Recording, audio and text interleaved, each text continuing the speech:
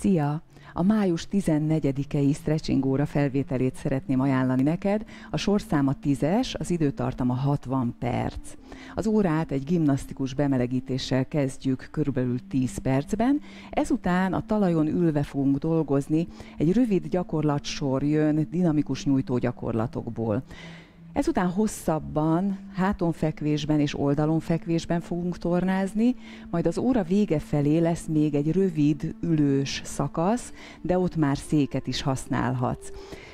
Az óra végén a szokásos 5 perces relaxáció jön. Az egyetlen segédeszközünk a megszokott heveder. Ha érdekel ennek az órának a felvétele, akkor a leírásban találod a tudnivalókat. Szeretettel várlak!